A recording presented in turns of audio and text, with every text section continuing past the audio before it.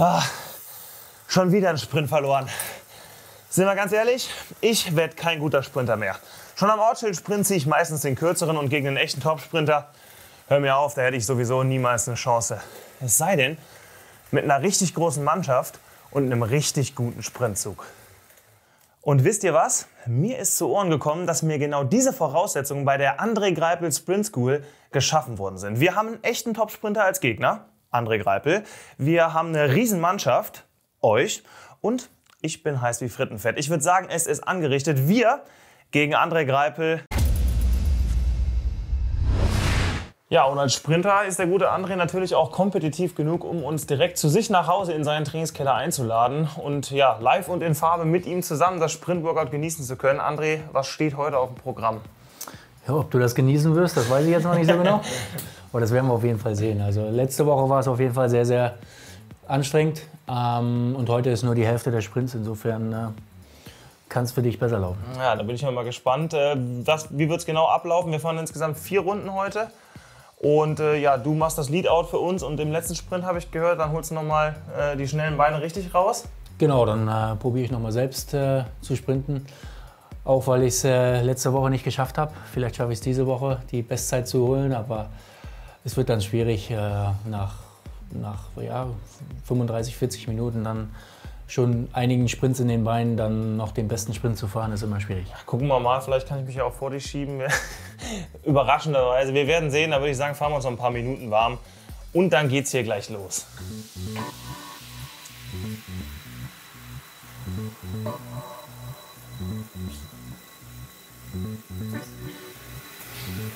Ich bin bereit und warm.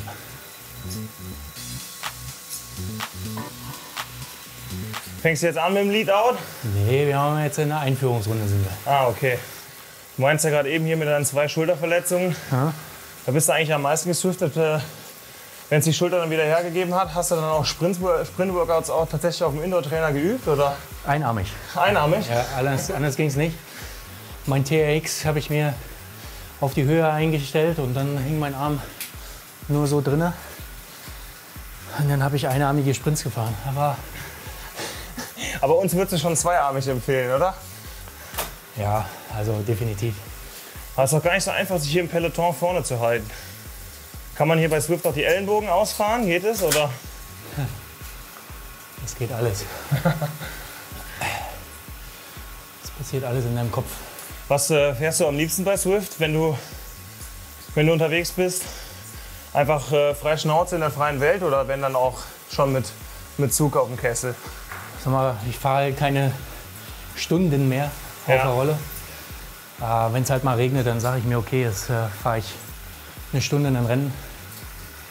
Und dann, äh, ja, so wie man das halt sagt, man haut sich dann ein bisschen in die Schnauze. Und dann hat man ein gutes Gefühl, also ich jedenfalls. Ja. Manchmal auch nicht, aber der Ehrgeiz ist auf jeden Fall noch da. Das ist, äh, dass man sich da mit anderen messen möchte, ja. Du hast die Ostschule ja noch mitbekommen eigentlich. Was war dein längstes auf der Rolle? Ja, fünf Stunden habe ich mal gemacht. Unfassbar. Das war Aber auch wahrscheinlich noch ohne Handy, ohne Musik, nur mit dem Ghetto Blaster im Nee, Trainingsraum. nee, nee, das ja? habe hab ich, äh, das hab ich äh, dann gemacht mit Swift. Anders ist das nicht möglich. Ja. Also, wir hatten früher Rollen mit äh, Lichtmaschinen.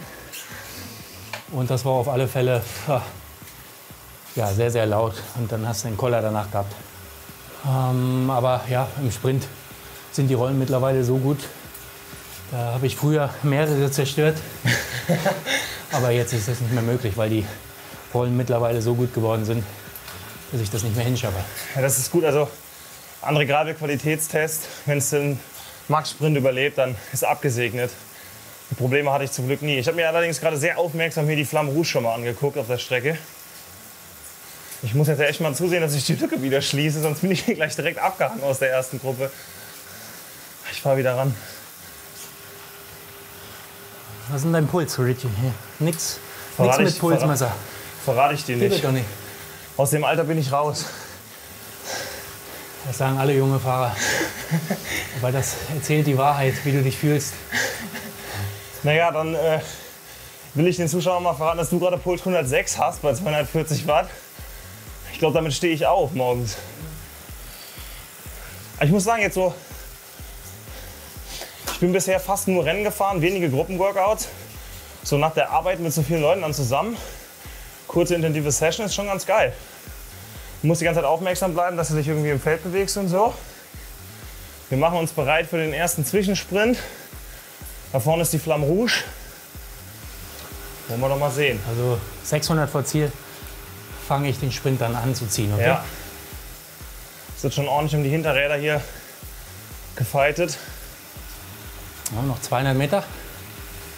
Ich postiere mich mal hier in den Unterlenker, wie sich das gehört. Oh.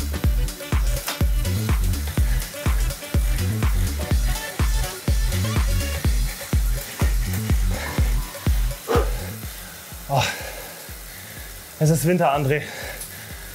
Die Beine tun weh. Nee, ich glaube, du warst 30. Oh. Ich bin 64. Ja, knapp 200 Leute hier, die sich hier eines abendlichen, an einem abendlichen Sprint-Workout erfreuen. André, was ist denn deine Trittfrequenz, wenn du sprintest? Maximal. Ja, im Rennen hast du keine, keine Wahl, ne? Also da musst du halt mit. Aber hier auf der Rolle, sag ich mal, 95 bis 100, Ja. weil die Rollen schon wirklich gute Bremsen haben und dich auch in der Trittfrequenz halten. Hast du mal die 2000 Watt geknackt auf der Rolle? Nee, auf der Rolle vielleicht 1500, aber Ja. die Bremsen sind wirklich so gut. Ja. Mehr kannst du nicht. Also mein Ziel ist es heute einmal 1000 Watt zu schaffen, wenn ich ehrlich bin.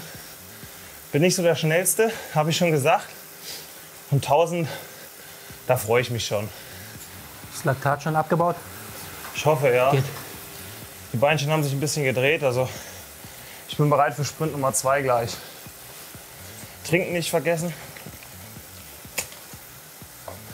So, wir sind wieder an der Flamme Rouge.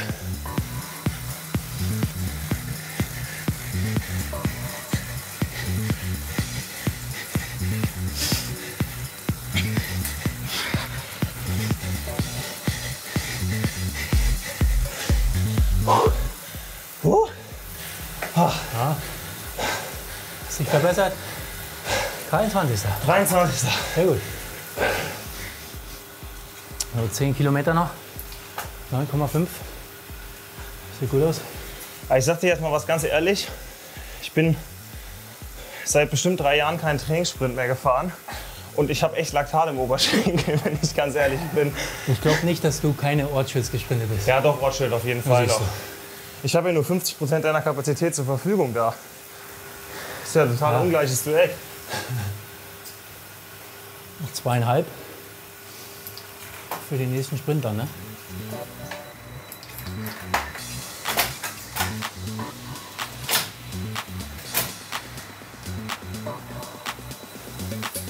Ich habe mich gerade in einem sehr ungünstigen Moment abhängen lassen. Dann fahre ich den für dich. Okay, das ist ein Deal. Ich halte trotzdem mal mit rein. Soll ja auch wehtun hier.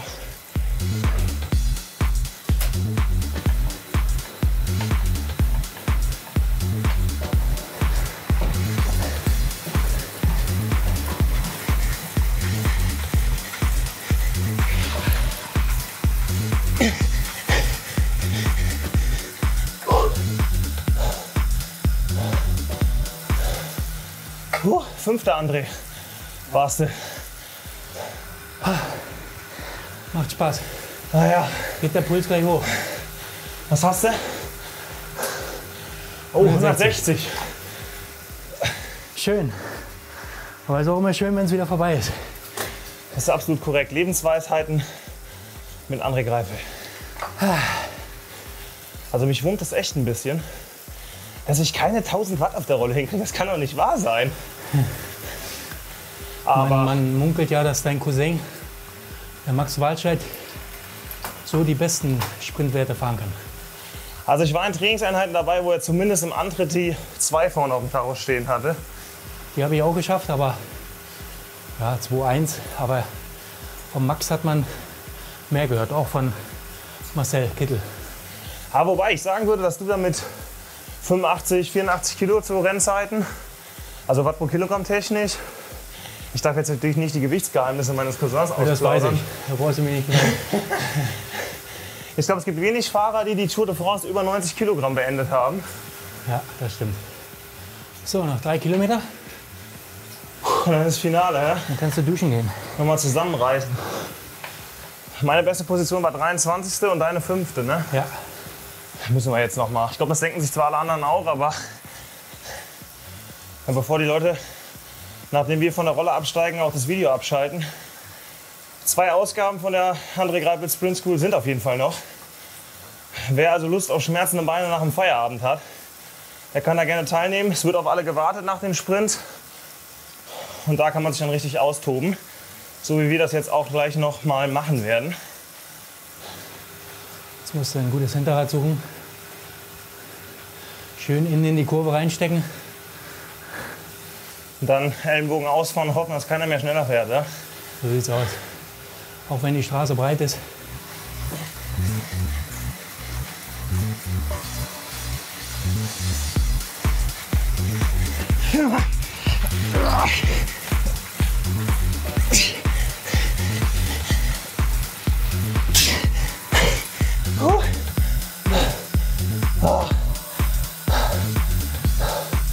Nochmal Fünfter.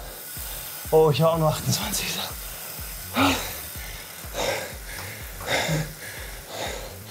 Aber hat wirklich Spaß gemacht. Kurz und knackig. Zeit ging gut rum. Ich bin wieder zurück im GCN-Kit. Also nicht das Ausfahren vergessen. Ja, ist ganz wichtig.